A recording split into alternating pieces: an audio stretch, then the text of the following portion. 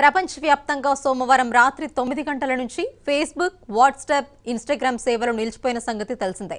అయితే మంగళవారం తెల్లవారుజామున నాలుగు గంటల నుంచి ఈ ఫేస్బుక్ వాట్సాప్ ఇన్స్టాగ్రామ్ పనిచేస్తున్నాయి. ఏడు గంటల తర్వాత ఫేస్బుక్ తన సేవల్ని పునరుద్ధరించింది. ఈ మూడు సోషల్ నెట్వర్క్ యాప్స్ తిరిగి పనిచేయడం ప్రారంభించడంతో యూజర్లు ఊపిరి పీల్చుకున్నారు. ప్రస్తుతం వీటి సేవలు అందుబాటులోకి రావడంతో యూజర్లు సందేశాలతో హోరెత్తిస్తున్నారు. చాటింగ్ షేరింగ్స్ కామెంట్స్ లైక్స్ ప్రారంభించారు. అయితే కొద్దిసేపు ఈ మూడు యాప్స్ పనిచేయకపోవడంతో ప్రపంచం స్తంభించిపోయినట్లయింది. నెటిజన్లు మొత్తం చాలా ఇబ్బంది పడ్డారు.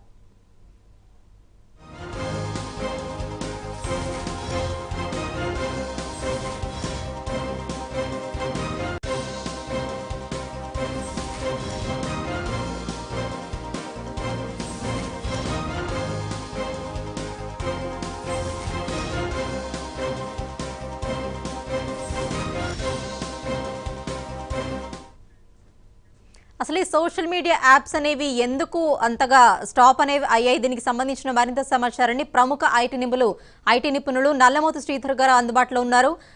శ్రీధర్ గారు నమస్తే అండి. నమస్తే అండి. యా నిన్న నైట్ నైన్ ఓ క్లాక్ నుంచి మార్నింగ్ టూ ఆర్ త్రీ వరకు కూడా ఏ మెసేజ్లోనే సెండ్ అవ్వలేదు ఏ సోషల్ మీడియా అవి అనేది ఏం అప్డేట్ అవ్వలేదు ఇన్స్టాగ్రామ్ కానీ ఫేస్బుక్ కానీ ఎందుకు ఇలా జరిగింది? In hours. ఫేస్బుక్ చరిత్రలో ఇది రెండో పెద్ద అవుటేజ్గా మనం కన్సిడర్ చేయొచ్చు. ఇక్కడ ఎందుకంటే గతంలో ఒకసారి ఇన్సిడెంట్ జరిగింది కానీ కానీ ఎంత భారీ నష్టంలో పీపుల్ ఎఫెక్ట్ కాలేదు. ఇంకా అదృష్టవశాత్తు భారతదేశంలో ఉన్న పీపుల్కి వచ్చేటప్పటికి ఈ అవుటేజ్ పెద్దగా ఎఫెక్ట్ పడలేదు కానీ విదేశాల్లో ఆల్మోస్ట్ మనకి టైం జోన్ ప్రకారం ఆ, పగలుండే ఏరియాస్ అన్నిట్లో కూడా వాటి ఇంపాక్ట్ పడింది. ఇక్కడ సహజంగా అవుటేజ్ అనేది రెండు రకాలుగా జరుగుతుంది. ఒకటి ఏదన్నా కొత్త ఫీచర్స్ ఫేస్బుక్లో కానీ ఇన్స్టాగ్రామ్లో కానీ తీసుకొచ్చేటప్పుడు వాటిలో ఏవైతే కోడ్ తీసుకొస్తారో దాన్ని ఫస్ట్ టెస్ట్ సర్వర్స్ మీద రన్ చేస్తారు. వాటిని మెయిన్ సర్వర్లో రన్ చేసినప్పుడు ఏదన్నా సడన్గా టెక్నికల్ గ్లిచ్ వస్తే గనక ఆటోమేటిక్ అక్కడ ఫెయిల్ అయ్యే స్కోప్ అనేది ఒకటి ఉంటుంది. కానీ ఇప్పుడు జరిగింది అలాంటి సంఘటన కాదు. అంటే టెక్నికల్గా ఎలాంటి అప్డేట్ వలన వచ్చిందో టెక్నికల్గా వచ్చే ప్రాబ్లం వలన కాదు. ఇది పూర్తిగా మానవ తప్పితంగా కన్సిడర్ చేయొచ్చు. ఎలాగంటే ఇప్పుడు ఫర్ ఎగ్జాంపుల్ ఫేస్బుక్ కానీ లేకపోతే గూగుల్ కానీ ఏదైనా వెబ్సైట్ మనం ఓపెన్ చేయడానికి ట్రై చేసినప్పుడు ఏం చేస్తాం? గూగుల్ క్రోమో ఫైర్ ఫాక్స్ బ్రౌజర్ ఓపెన్ చేసి పైన అడ్రస్ బార్లో ఫేస్బుక్ డాట్ కామ్ అని టైప్ చేస్తాం. సో అలా టైప్ చేసినప్పుడు ఫేస్బుక్ డాట్ కామ్ అని ఇంగ్లీష్లో ఉండే లెటర్స్ మొత్తాన్ని కూడా మన రిలయన్స్ జియోను ఎయిర్టెల్ లాంటి సంస్థలు అంటే ఇంటర్నెట్ సర్వీస్ ప్రొవైడర్ ఏం చేస్తారు? అక్కడికి రిక్వెస్ట్ వెళ్ళేసి అక్కడ నుంచి ఫేస్బుక్ డాట్ కామ్కి ఒక ఐపీ అడ్రస్ లింక్ చేయబడి ఉంటుంది. ఆ పర్టికులర్ లింక్ అనేది ఆ ఐపీ అడ్రస్ అనేది ఎక్కడ ఉంది అన్నదాన్ని ఆ ఆ సర్వర్కి కనెక్ట్ అయిపోతుంది. అంటే ఇప్పుడు నిన్న ఏం జరిగిందంటే ఫేస్బుక్ డాట్ కామ్ అని మీరు ఓపెన్ చేసిన అడ్రస్ బార్లో లేకపోతే దాన్ని అప్లికేషన్ ఓపెన్ చేసిన మన ఫోన్ నుంచి మన కంప్యూటర్ దగ్గర నుంచి వెళ్ళే రిక్వెస్ట్ ఇంటర్నెట్ సర్వీస్ ప్రొవైడర్ దాకా వెళ్ళగలుగుతుంది. సో అక్కడి నుంచి సర్వర్ ఉందా లేదా అన్నది వెరిఫై చేసి దాన్ని కనెక్ట్ అవ్వాలి కదా. సో అక్కడ కనెక్టివిటీ లాస్ అయింది. ఎక్కడ ఐఎస్పీలో లో కాదు సర్వర్ అనేది లేకపోవటం వల్ల. సర్వర్ ఎందుకు లేదు అంటే ఇప్పుడు ఫర్ ఎగ్జాంపుల్ మీ ల్యాప్టాప్ మీ కంప్యూటర్ ఉందనుకోండి దాన్ని స్టాప్ చేశారు మీరు కంప్యూటర్ కంప్లీట్గా పవర్ ఆఫ్ చేశారు అనుకోండి పవర్ ఆఫ్ చేసి దాంట్లోనే డేటాను ఎలా అయితే యాక్సెస్ చేయలేరో. సేమ్ అదే నిన్న ఫేస్బుక్ విషయంలో పరోక్షంగా జరిగినట్లుగా మనం అర్థం చేసుకోవాలి. అంటే అక్కడ ఫేస్బుక్ సర్వర్స్ అంతా కూడా అక్కడ పనిచేసే ఉద్యోగుల్లో ఎవరైనా కానీ మాల్ ఫంక్షన్ వలన కావచ్చు అంటే ఉద్దేశపూర్వకంగానో లేకపోతే యాక్సిడెంటల్ గానో ఏదైనా సంథింగ్ సర్వర్ డౌన్ కావడానికి సమస్య ఎక్కడ జరిగిందో అర్థం కాని విధంగా క్లిష్టంగా అది ఫెయిల్ అవడానికి కారణమయ్యే అవ్వటం వలన ఈ రోజు మనం సమస్య ఫేస్ చేస్తున్నాం. ఓకే. అంటే ఏదైనా స్పెషల్ ఫీచర్ యాడ్ చేసేటప్పుడు ఇలా జరిగి ఉంటుందని చెప్తున్నారు కదా. అంటే ఫర్ సపోజ్ ఫేస్బుక్లో యాడ్ చేస్తున్నారు అనుకుందాం. మరి వాట్సాప్ కానీ అలాగే ఇన్స్టాగ్రామ్ కానీ ఎందుకు ఈ రెండిట్లో కూడా అలా ఇలా జరిగింది? లేదు లేదు. ఇక్కడ నేను చెప్పింది ఏంటంటే ఫేస్బుక్ అంటే ఏదైనా స్పెషల్ ఫీచర్ యాడ్ చేసేటప్పుడు జరుగుతూ ఉండేది గతంలో. ఇప్పుడు జరిగింది అలాంటిది కాదు. ఇప్పుడు జరిగింది ఏంటంటే పూర్తిగా కంప్యూటర్ ల్యాప్టాప్ ఆఫ్ చేస్తే గనక సో అందులో ఆఫ్ చేసిన తర్వాత మనం ఎలాగైతే దాన్ని వాడుకోలేమో మ్మ్. సో ఫేస్బుక్కు సంబంధించిన కీలకమైన సర్వర్స్ ఫేస్బుక్ ఇన్స్టాగ్రామ్ వాట్సాప్కు సంబంధించిన కీలకమైన సర్వర్స్ అంతా ఒక డేటా సెంటర్లో ఉన్నాయి అనుకోండి ఆ డేటా సెంటర్కి ఏదైనా టెక్నికల్గా ప్రాబ్లం వచ్చి పవర్ ఆగిపోవటం లేకపోతే అక్కడ మెయిన్ స్విచ్ ఆగిపోవటం ఎవరో పర్సన్ ఏదో. పొరపాటున ఏదో మిస్టేక్ చేయడం జరిగింది అనుకోండి మ్మ్. సో ఆ- ఆ జరిగినప్పుడు ఎలాగైతే మిగతా ప్రపంచానికి ఆ ఫేస్బుక్ సర్వర్ రూమ్కి కనెక్టివిటీ లాస్ట్ అవుతుందో సేమ్ ఆ విధంగా జరిగింది ఇది నిన్న జరిగింది సో అందువల్ల మనకి ఏ అప్లికేషన్ కూడా ఫేస్బుక్కి సంబంధించిన ఏ అప్లికేషన్ కూడా ఓపెన్ కాలేదు. అంటే ఇంతకు ముందు కూడా ఇలాంటి సిచ్యువేషన్ అనేది ఒకటి రెండు సార్లు అలా జరిగింది. కానీ అప్పుడు ఫైవ్ నుంచి టెన్ మినిట్స్ వరకు అలానే జరిగి తర్వాత నార్మల్ అనేది అయిపోయింది. కానీ ఇప్పుడు మాత్రం ఎందుకు ఇన్ని గంటలు పట్టింది? నా మినిమం నాలుగైదు గంటలు పట్టింది. ఇప్పుడు మనకి ఒక నార్మల్గా టెక్నికల్ సమస్య వలన జరిగింది అయితే గనక ఖచ్చితంగా కూడా ఇంతకుముందు నేను చెప్పినట్లుగా ఒక కొత్త ఫీచర్ తీసుకొస్తున్నారు అనుకోండి.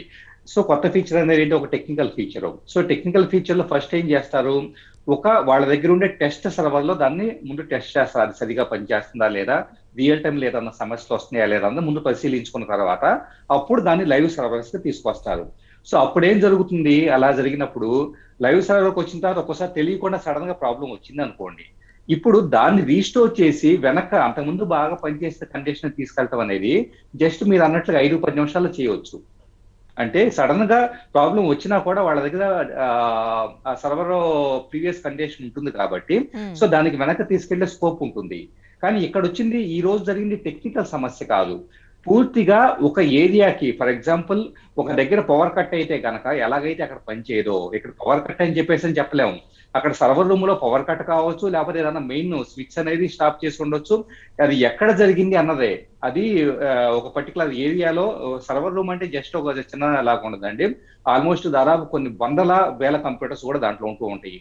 సో డిఫరెంట్ డేటా సెంటర్స్ అనేవి ఉంటాయి. ఆ డేటా సెంటర్స్లో ఎక్కడ సమస్య ఏర్పడింది అన్నదాన్ని ఐడెంటిఫై చేసి దాన్ని సాల్వ్ చేయడానికి ఖచ్చితంగా కూడా నెంబర్ ఆఫ్ అవర్స్ పట్టే స్కోప్ ఉంటుంది. సో అందువల్ల అది ఎక్కువ టైం తీసుకుంది. పరోక్షంగా చెప్పాలంటే కనుక యూజర్స్ ఎంత అయితే ఇబ్బంది పడ్డారో మరోపక్క ఫేస్బుక్ కూడా దీనివల్ల భారీ మొత్తం నష్టం కూడా వాటిల్లింది. అంటే వాళ్ళకి అడ్వర్టైజ్మెంట్ రెవెన్యూ దాదాపు భారీ అంటే వందలాది కోట్ల రూపాయల మేరకు వాళ్ళకి నష్టం కూడా రావడం జరిగింది. ఓకే. ఇంకా ముందు ఇంకా ముందు కూడా ఏమైనా ఇలాంటివి ఏమైనా జరిగే అవకాశం ఉంటుందంటారా శ్రీధర్ గారు? యా టెక్నాలజీ ప్రపంచంలో మన సోషల్ మీడియా ప్లాట్ఫామ్స్ కానీ ఏదైనా కానీ మనం ఇంటి దగ్గర ఆఫీస్లో పనిచేసే కంప్యూటర్లు ఎలాగైతే ఫెయిల్ అవుతాయో ఒక్కసారి సడన్గా రీస్టార్ట్ అవుతాయో సేమ్ అదే పాసిబిలిటీ సోషల్ మీడియా ప్లాట్ఫామ్స్ అన్నిటి కూడా జరుగుతుంది. గూగుల్ కావచ్చు గతంలో గూగుల్ కొంతకాలం ఐదారు నెలల క్రితం గూగుల్ సర్వీసెస్ అంతా కూడా స్టాప్ అయిపోయినాయి. సో అది కూడా ఒక వన్ అవర్ పాటు స్టాప్ అవడం జరిగింది.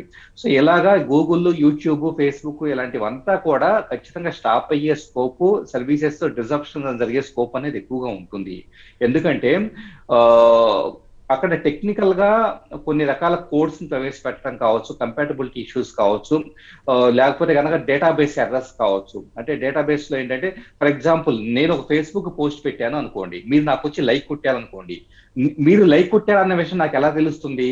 ముఖ్యంగా ఏం జరుగుతుందంటే మీరు లైక్ కొట్టిన వెంటనే కూడా నా ప్రొఫైల్లో ఉండే నా ప్రొఫైల్లో వాళ్ళ డేటాబేస్లో ఉంటుంది అక్కడికి వెళ్ళేసి ఒక లైక్ వచ్చింది ఎక్కడి నుంచి వచ్చిందో మీ రిఫరెన్స్ అనేది అక్కడ యాడ్ అవుతుంది. ఇదంతా కూడా టెక్నికల్ బ్యాక్గ్రౌండ్లో జరిగే ప్రాసెస్ ఇదంతా ఒక డేటాబేస్ క్రాష్ అయింది అనుకోండి కంపాటబిలిటీ ఇష్యూస్ వచ్చినాయి అనుకోండి.